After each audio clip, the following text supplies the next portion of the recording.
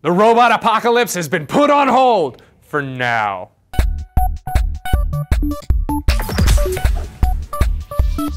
It's no secret that more and more robots are replacing humans in the workplace. Robots today are capable of doing all sorts of manufacturing jobs, whether it be assembling a car or making an egg salad sandwich. Robots have been taking our jobs for years. They took our jobs. They took your job. They took your job. And while yes, they have been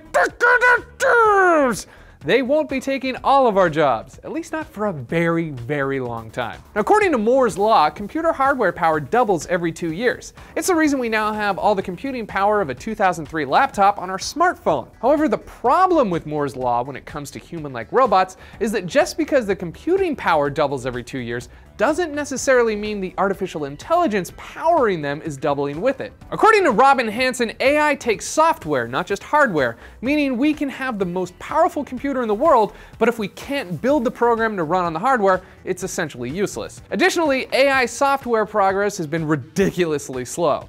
Instead of Moore's law of every two years, AI software has only increased by 5 to 10% in the last 20 years. By Hanson's calculations, it may take centuries to get to human level AI. Then you have to get into the complicated politics of robots that can process emotions and thoughts like a human, and whether or not governments will allow such devices to exist. On the one hand, you could end up with sentient robots, like say the Joke-A-Tron 5000, or the T1000 from Terminator 2.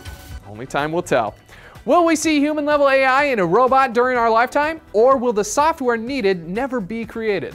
Let me know in the comments below. And if you haven't already, please subscribe to the channel. For TFN, I'm Scott Bromley saying,